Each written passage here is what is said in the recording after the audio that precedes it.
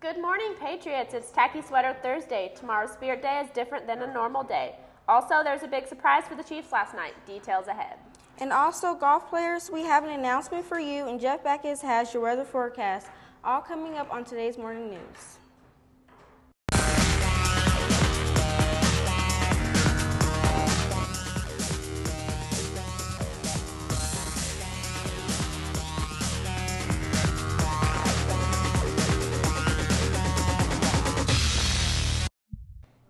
Morning, I'm Crystal Schroeder. And I'm Charnay Thornton. Today is Thursday, February 2nd, and here are today's top stories and announcements.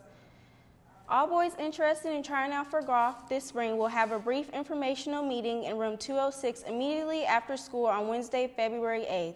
If you're, un- if you're unable to attend, please see Coach Costello in room 114.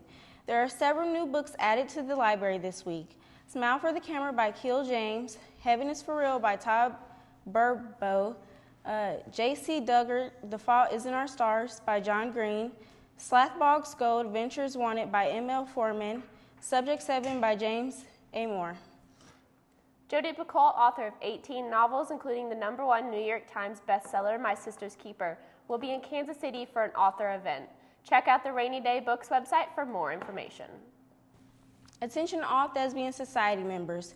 We have a man- mandatory meeting on Tuesday, February, February 7th in room 242. We have lots of important things to touch base on upcoming shows, fundraisers, etc. It is very important that you are all in attendance. Attention students and staff.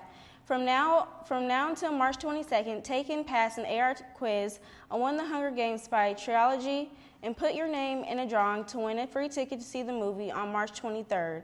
If you have already taken an AR quiz on one of the Hunger Games books, no worries. You can still put your name in the drawing.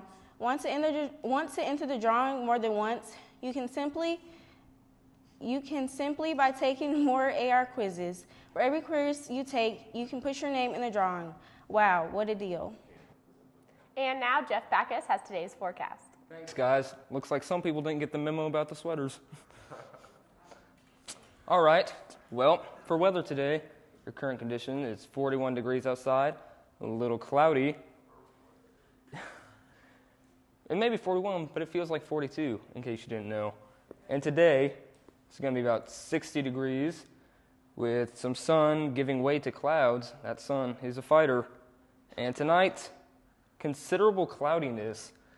Uh, so it's going to be dark. That sun's going to go away. 44 degrees, pretty cold, not okay. Tomorrow, let's see, it's breezy, a little colder with some rain. So watch out for that rain.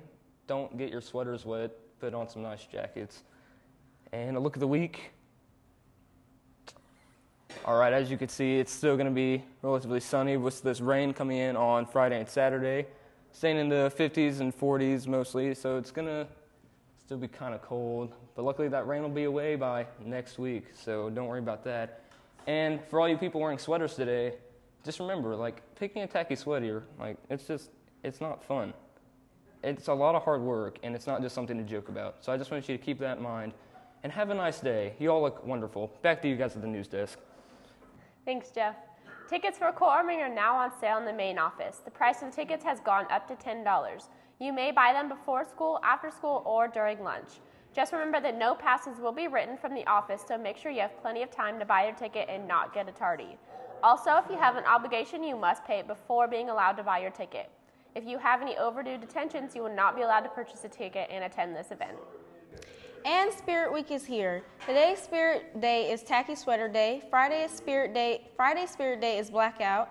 Get decked out in black so we can black out the whole assembly. Also, Friday is the last day to buy courtwarming tickets and shirts. And would you like to be involved in the courtwarming assembly this Friday? If so, sign up outside of room 134 to participate. We need one boy and one girl from each grade. In sports, Chiefs offensive coordinator Bill Muir has retired after 34 years of service in the NFL. Currently, former Seattle Seahawks coach and now Chiefs quarterbacks coach Jim Zorn is the only listed candidate for the head coaching job.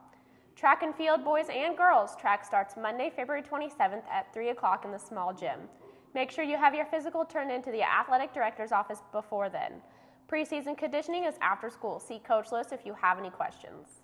And today for lunch will be tangerine chicken with steamed rice or spicy chicken with baked fries.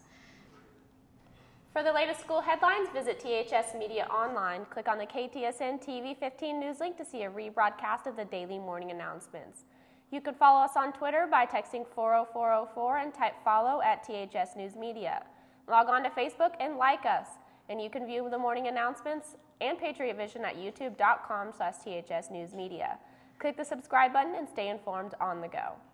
And we would like to wish a happy birthday to our own Kelsey Whittle. If you would like your birthday announced on the morning news, please email Mr. Merrithew the day before by 320. Include Kathy Glasgow on general announcement emails. Any email sent after this time will not be included the next day. In the email, email please list the dates you would like your message to appear on the morning news. And as you probably know, this Sunday is the Super Bowl. But this year, there will be more options available to watch the Super Bowl no matter where you are. If you have an iPhone or Android through Verizon Wireless, you can stream the game to your iPhone if you have Verizon's plan. You can also stream the game on your computer. NBC will allow users to watch two camera feeds at once, and all the features of a DVR will be brought to the web player. That's all we have for you today, Truman. Have a great Thursday.